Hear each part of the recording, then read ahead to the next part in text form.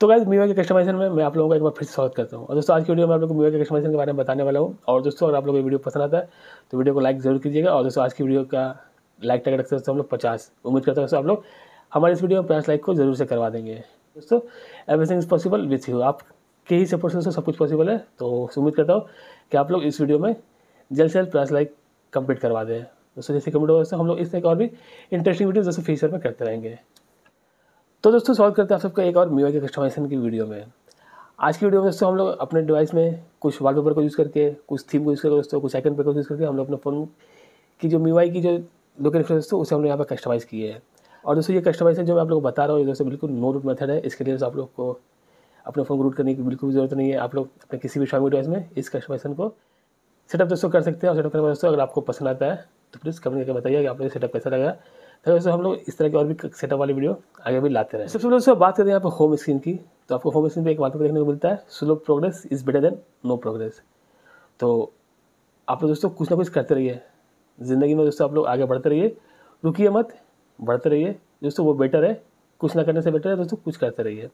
तो उसकी वजह से एक वॉलपेपर आपको देखने को मिल जाता है, एक लोगो कोड देखने वाला मिल जाता है दोस्तों। ये वॉलपेपर मैं यहाँ पर यूज़ कर रहा हूँ। और दोस्तों सब कुछ आप लोग हमारे इस टेलीग्राम चैनल देखने को मिल जाएगा तो लिंक मैं आपको डिस्क्रिप्शन में डाल दूँगा, वहाँ पर आप लोग जाकर अपने फ़ोन के लिए सब कुछ डाउनलोड कर सकते हैं। पर दोस्तों, इससे पहले आप लोग वीडियो में लास्ट तक बने रहिए, ताकि मैं आप लोग सारी कस्टमाइजेशन के बारे में बता दूँ। तो सबसे दोस्तों, आप लोग ये पर देखने को मिल जाता है। उसका दोस्तों, आप लोग एक आइकन पर देखने को मिलता है, जो एक थीम के थ्रू यहाँ पर देखने को मिलता है, और दोस्तों थीम आपके थीम स्टोर देखने को मिल जाता है। दोस्तों, अगर बात करें तो आइकन पैक यहाँ पर तो इन कास्ट्रो भीटन देखने को मिल जाता है दोस्तों। ये थीम का लिंक आपको इस थीम का लिंक दोस्तों आपको डिस्क्रिप्शन में मिल जाएगा। ऑफिशियल थीम स्टोर दोस्तों ग्लोबल थीम स्टोर पर इंडिया थीम स्टोर पर अवेलेबल है। उस थीम को दोस्तों, जब उस थीम की जब आइकन पर आप अप्लाई करेंगे तो कुछ इस तरह से आप लोग ये आइकन पर देखने को मिलता है। इसके अलावा दोस्तों, इस थीम में ही आप लोगों को जो विज़िट देखने को मिल रहा है क्लॉक की विज़िट वेदर की इन्फॉर्मेशन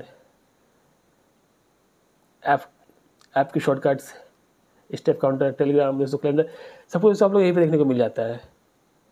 ये भी दोस्तों आपको इसी थीम देखने को मिल जाता है। इसके अलावा आप लोग एक कंट्रोल सेंटर देखने को मिलता है MIUI thirteen support control centre दोस्तों, चाहे तो आप लोग इस थीम को अपने मीओ ट्वेल्व पर भी यूज़ कर सकते हैं, या फिर अगर आपका फ़ोन मीओ थर्टीन दोस्तों तो आप लोग उसमें भी इस थीम को यूज़ कर सकते हैं।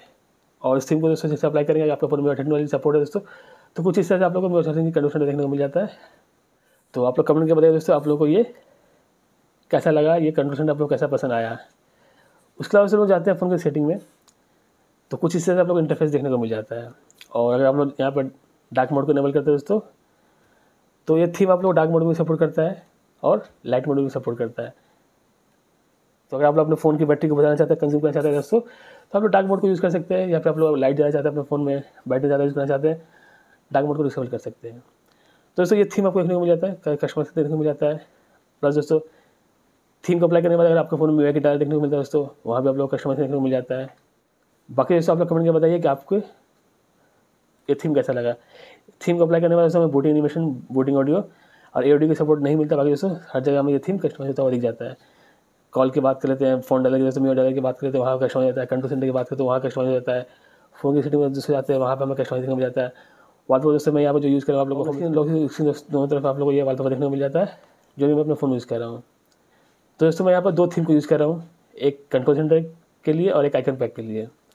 तो अगर आप लोगों को पसंद आया दोस्तों वीडियो तो लाइक करिए और दोस्तों कमेंट भी कीजिए।